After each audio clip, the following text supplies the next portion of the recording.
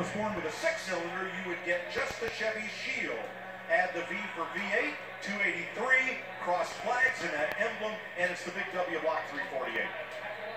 This is the power pack with a four-barrel carburetor and a fifth dual exhaust. Power brakes. This has been added. The dual reservoir we see here was something that wasn't available on Chevy's 267. And the alternator here, that should be a generator. That's okay. These two things make it more reliable and safer in daily driving. Side exhaust exit behind the rear wheel here. Uh, that is non-functional, but looks cool.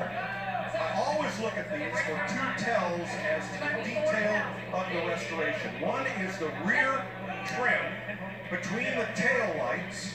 These little recesses should be black. Here they are. And on the jet applique right behind the door, those little inlet recesses should be black, and they are. This restorer has gone the extra mile on this one.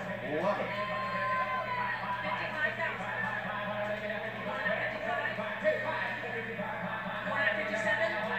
Add-on air conditioning under the dash tilt wheel has been added. Those big gauge pots, just the way they came in 1960. And the two-tone upholstery in this one in the houndstooth pattern, that's the way they were.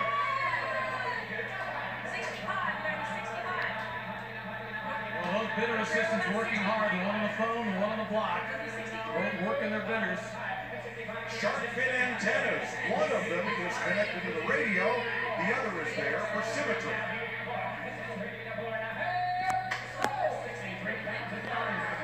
ultimately, the gentleman on the block is the one who comes away the winner 63